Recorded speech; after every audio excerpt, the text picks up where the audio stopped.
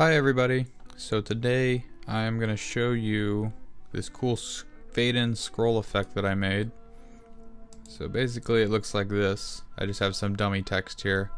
And as you scroll down, the new sections fade in. I really like this effect. I saw it on Apple's website and I wanted to figure out how they did it. So this is the video me explaining about how I did it.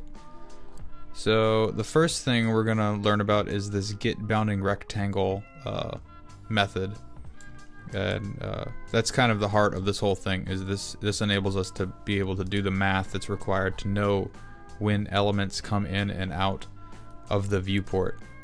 So the first thing I'm going to show you is how that works. So what I have here is uh, we're going to track, we're going to get the rectangle for this heading. So in my HTML, all I've done, if I scroll to the top, all I've done is put an ID of first heading on this, this first heading right here.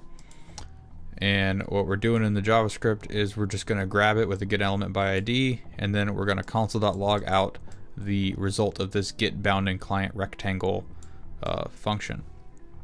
And it looks like this. So if I refresh the page, you can see it gives us this thing called a DOM rectangle and has some pretty useful properties. It's basically these properties are where the rectangle sits within the viewport.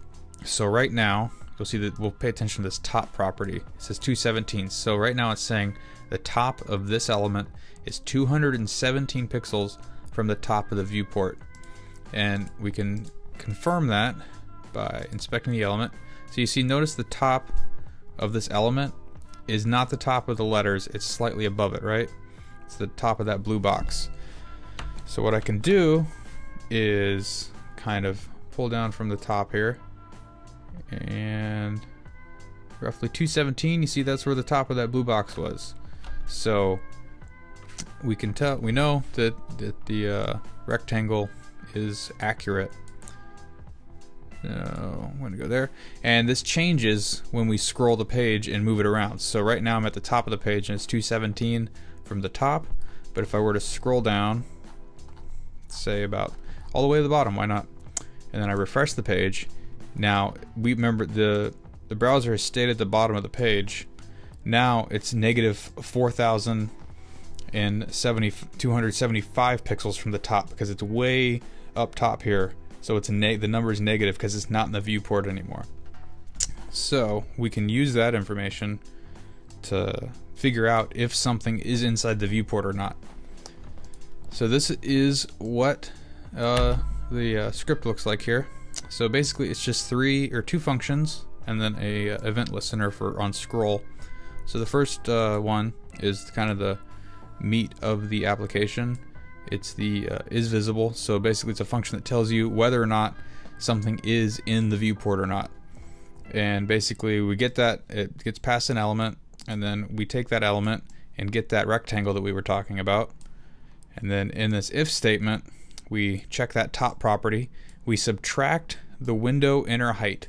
So the window inner height is the height from the top to the bottom of the viewport. So essentially, if you imagine say the uh, this this heading was you know negative a thousand or not negative a thousand but say it's a thousand pixels from the top down here as it lives down here but our inner height is only 900 so we take the uh, thousand from the top subtract it by 900 we would get 100 which is less than or not less than the negative 200 uh, we've set here. This is kind of the reason we set, we can set it to zero. I'll show you what happens when we set it to zero. I refresh the page.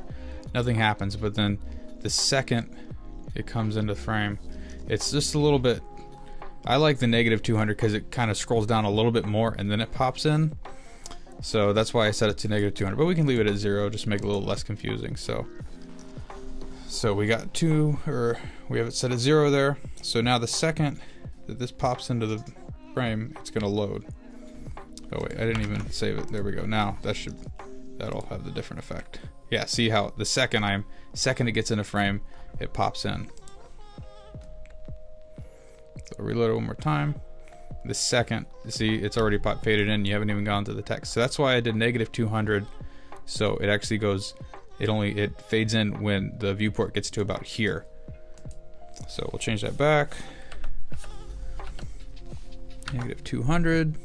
And so that's the math right there. So it's say it's a thousand pixels from the bottom, subtract the 900, it's still 100, which is not less than negative 200. So it still returns false. It is not in the viewport. Whereas when I scroll down a little bit, now this top element, this top uh, number has gone up and we subtract the still the height, the 900, and we'll get past, if it's less than negative 200, then it will return true. So then this scan document uh, function is what gets called every time a scroll event is fired. And what it does is it selects all the elements on the page with the class of hidden. So in the index here, I've just given all these sections a class of hidden. And all that is, is setting the opacity to zero. So it's just making them see-through, basically. That's all it's doing. Uh, and then, so it finds all of those, and then for each of the items it finds, it applies this function, which is if is visible, it executes this is visible uh, uh, function on the section that it's working on, and then all it does is if is visible is true, it uh, removes the hidden class, and all that does is take this away, and then that changes the opacity to one, and then this transition uh, CSS takes effect, and that's how you get that nice fade in. If I were to take this out, it would just pop in the frame. You'll see, you'll watch it pop in. Oh, wait, no, not at all. What happened? Hmm.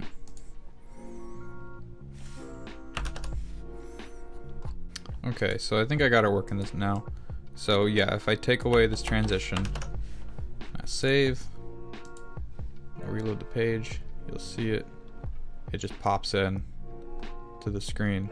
So the transition is what makes that nice, uh, that nice fade effect. So that's all it's doing is it's removing that hidden class. Now the only problem with this uh, method is that it's firing a scan document uh, function every time a scroll uh, event is fired. And that happens a lot actually every time you scroll. So in order to demonstrate that, I created just this simple counter. It just has a number of scans variable set to one. And then every time we run this scan document, I'm going to console log the number of scans and then I'm just going to increase it by one just so you see how many times uh, this scan document function is running because it fires every time the scroll fires. So we'll just inspect element, look at the console. Right now it's there. Second, I'm just gonna hit the wheel a little bit. Boom. I just literally clicked one click on my mouse wheel and it fired 16 scroll events. I'll do one more. Now we're at 31. I haven't even gotten past the first paragraph and I'm already at 106. It's firing it for every single uh, every single element in this uh, section list, I believe, actually. That's why. But it's a lot of scroll events. So, the way we can handle that, because it works on this, it's fine, because there's not that much going on on this page. It can handle all those events. But if we had a lot more things going on, it could potentially really slow down our application if uh, we're firing all those scroll events so quickly once someone's scrolling. So, one of the uh, solutions is to add a throttle function. So all this function does is it takes a function and a wait time, creates a time, and then it returns a function that uh, takes in the time plus the wait time, or the current time plus the wait time minus the current time, and if it's less than zero, it fires a function and resets the date. So we could do, uh, we'll just insert this in here. We'll go throttle, and then we'll throttle the scan document. That throttle the amount of times we're gonna fire that within a given period of time. I'll do 5,000 milliseconds, which uh, will be five seconds, which is kind of a lot, but it just for demonstration purposes. So go back here. Uh, missed the uh, missed the parentheses. All right. So you see, it'll be firing a lot slower this time. So we just fired one scroll event, five more seconds. Now we just fired a second one. So instead of firing 16 at a time, I'm only five, I only fired two. Now I fired three. And so as we scroll, now five seconds is too much because you see it's kind of I can do this and it, it uh, I can outrun the uh, the fade ins, but it's to demonstrate that see we've only fired five scroll events, even though now it'd probably be in the hundreds of scroll events if it was uh, if I wasn't using that throttle function. Now the problem with the throttle function is is that you probably don't want to use your own. So what you can do is you can use a Lodash uh, throttle function. So all I did there was I have the Lodash JavaScript library already imported on my HTML. That's why I can use it. So you can just find a good CDN with Lodash. And then it just goes Lodash and then throttle or dot throttle. So now it's using that library, which is they've you know they've they've taken to, into account all the uh, the things that can go wrong with the throttle because it's it's a little more it needs to be a little more complicated than just this simple thing. There's a lot of caveats to it, so it's better just to use one written by other people that's that are smarter than you sometimes. So I'm going to change that to 500 milliseconds. So every half second it's going to be firing a an event, which is a little bit better, a little bit better. So I won't be able to outrun it as easily. So we got one. Now that's firing. That's firing. So see, it's a lot. It's still going pretty quick, but it's still better than before when it would have already been up to like four or 500 probably at this point. So that's it. That's the how I made this cool fade in effect uh, when you scroll down a page. Uh, thanks for watching.